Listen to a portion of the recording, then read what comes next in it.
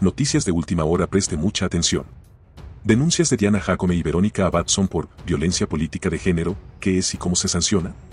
Ambas denuncias serán tramitadas por un juez del Tribunal Contencioso Electoral, quien debe emitirá su sentencia de primera instancia.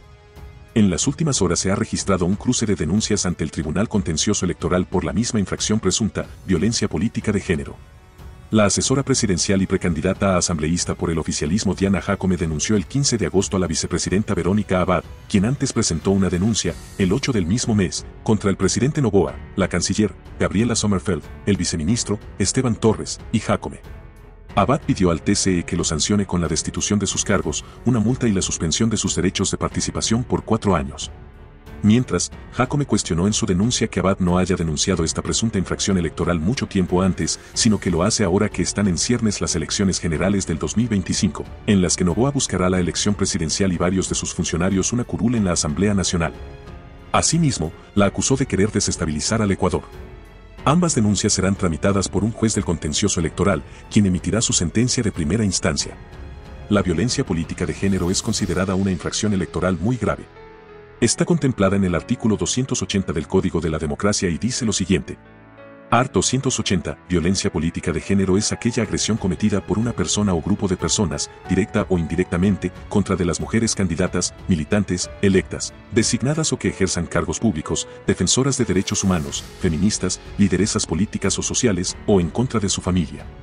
Esta violencia se orienta a acortar, suspender, impedir o restringir su accionar o el ejercicio de las funciones propias de su cargo, o para inducirla u obligarla a que efectúe en contra de su voluntad una acción o incurra en una omisión en el cumplimiento de sus funciones, incluida la falta de acceso a bienes públicos u otros recursos para el adecuado cumplimiento de sus responsabilidades. Son actos de violencia contra las mujeres en la vida política, entre otras, aquellas acciones, conductas u omisiones en contra de las mujeres que, basadas en su género, en el ámbito político, 1. Amenacen o intimiden en cualquier forma a una o varias mujeres o a sus familias y que tengan por objeto o resultado anular sus derechos políticos, incluyendo la renuncia al cargo o función que ejercen o postulan. 2. Restrinjan o anulen el derecho al voto libre y secreto de las mujeres. 3. Realicen cualquier expresión que denigre a las mujeres durante el proceso electoral y en ejercicio de sus funciones políticas con base en estereotipos de género, con el objetivo o el resultado de menoscabar su imagen pública, limitar o anular sus derechos políticos. 4. Dañen, en cualquier forma, material electoral de la campaña de la mujer, impidiendo que la competencia electoral se desarrolle en condiciones de igualdad. 5. Proporcionen a los órganos electorales datos falsos o información incompleta de la identidad de la candidata con objeto de impedir el ejercicio de los derechos políticos de las mujeres. 6. Proporcionen a la mujer en el ejercicio de sus derechos políticos información falsa, errada o imprecisa u omitan información a la mujer, que induzca al inadecuado ejercicio de sus derechos políticos en condiciones de igualdad. 7. Divulguen imágenes, mensajes o revelen información de las mujeres en ejercicio de sus derechos políticos por cualquier medio físico o virtual, en la propaganda político-electoral o en cualquier otra que, basadas en estereotipos de género, transmitan o reproduzcan relaciones de dominación, desigualdad y discriminación contra las mujeres, con el objetivo de menoscabar su imagen pública o limitar sus derechos políticos. 8. Obstaculicen o impidan el acceso a la justicia de las mujeres para proteger sus derechos políticos. 9. Impongan sanciones administrativas o judiciales injustificadas o abusivas, impidiendo o restringiendo el ejercicio de sus derechos políticos en condiciones de igualdad.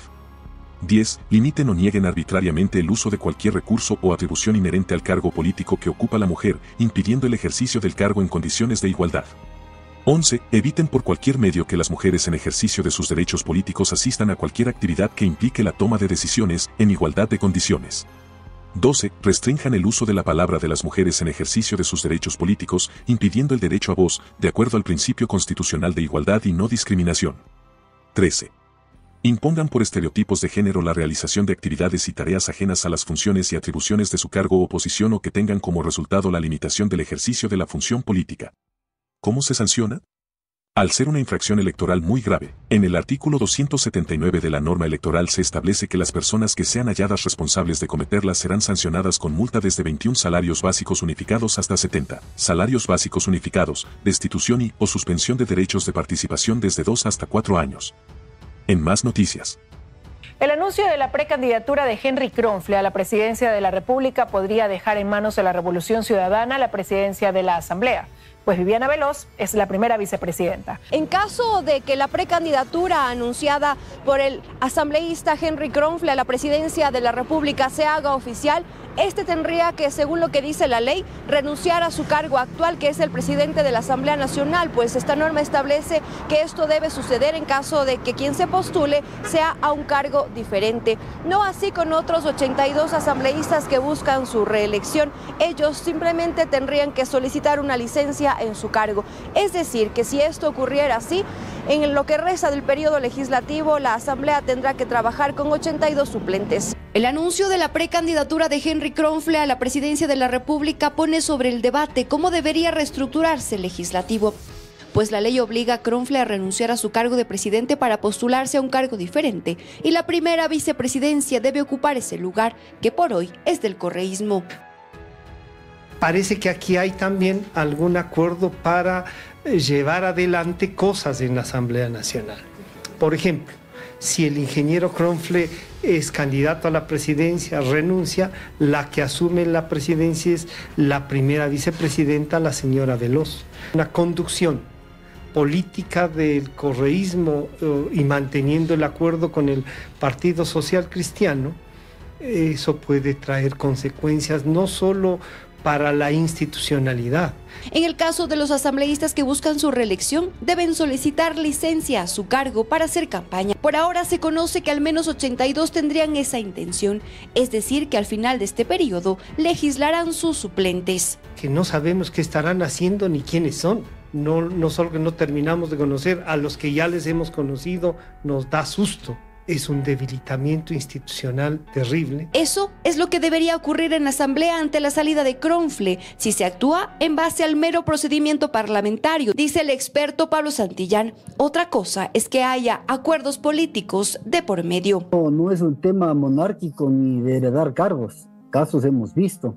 Eh, estamos en un sistema democrático y el Ecuador se supone que vive en un Estado de Derecho y aquí eh, los funcionarios y los ciudadanos en general tenemos que cumplir lo que dice la Constitución y la ley, más en tratándose de derecho público. Hasta este fin de semana las organizaciones políticas deben nombrar a sus precandidatos.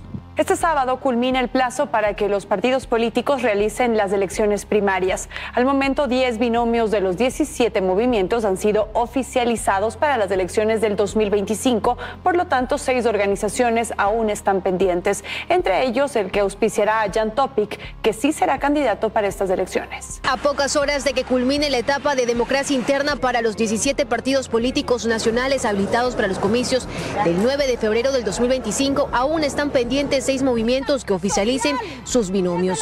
El último hasta el momento en realizar este proceso fue Izquierda Democrática, que entre discrepancias y separaciones de sus miembros, presentó esta mañana a la dupla conformada por el comunicador Carlos Rabascal y Alejandra Rivas. Vamos a construir un Ecuador en serio. Esténse atentos porque estaremos siempre conversando de las propuestas. Ya la política no puede convertirse en un baratillo de oferta. Con esto ya son 11 los partidos y movimientos que han presentado sus binomios, quedando seis agrupaciones pendientes de acompañamiento de veedores del Consejo Nacional Electoral para sus primarias. En este listado se encuentra el movimiento Sociedad Unida Más Acción, o mejor conocido como Suma, que para estos comicios auspiciará a Jan Topic, quien en mayo pasado afirmaba no postularse para este periodo, mientras creaba su plataforma política Transforma. Pese a esto, Topic, quien ya probó las mieles de la política y hoy según una encuestadora nacional, entraría en los primeros tres puestos de intención de voto. Entra a terciar en un panorama electoral liderado por el partido de gobierno y la Revolución Ciudadana. Quienes también están pendientes de postulación de binomio son el movimiento Creo, que su principal carta la jugaría con Francesco Tabaqui, y Centro Democrático, que apostaría por José Serrano. El presidente de Brasil, Lula da Silva, arremetió contra su homólogo de Venezuela, Nicolás Maduro, afirmando que su gobierno tiene un sesgo autoritario.